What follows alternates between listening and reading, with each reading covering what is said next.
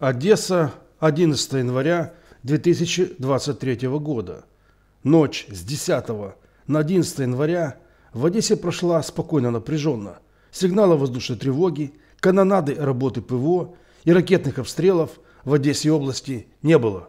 С начала недели в Одесской области применяются стабилизационные графики отключения электроэнергии.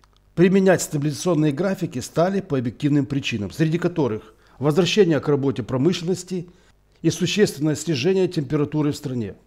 По уточненным данным Главного управления разведки Украины, в Макеевке при нанесении ракетного удара по месту дислокации российских войск погибло 612 военнослужащих.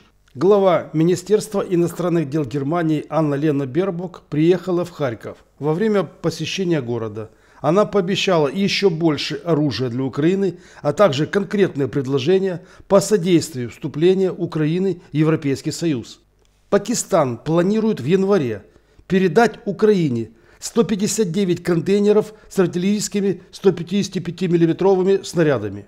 Финляндия выразила готовность после Польши также поставлять в Украину немецкие танки «Леопард-2». Канада закупила в Соединенных Штатах Америки батарею ПВО «Насамс» и передаст ее Украине. Украинские военные уже начали подготовку обучения для пользования батареями ПВО «Патриот». Напомню, что в ближайшее время Украина ожидает поставку двух батарей «Патриот», которые смогут одновременно сбить 64 крылатые ракеты. А если учесть то, что в Украине уже есть современные системы противоракетной обороны НАСАМС и АРИСТ, которые может интегрироваться с Патриот, то суммарное число сбитых ракет одновременно может быть до 160 штук. Министерство иностранных дел Турции официально поддержало украинскую формулу мира, по которой сначала полный и безоговорочный вывод российских войск, а потом переговоры.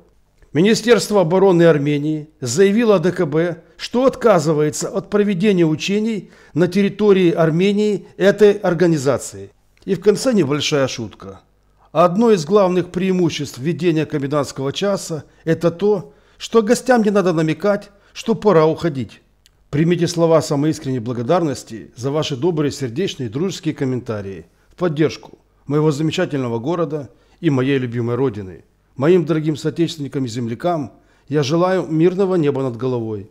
Берегите себя, берегите друг друга, всего самого наилучшего, самого доброго и даст Бог. До новых встреч!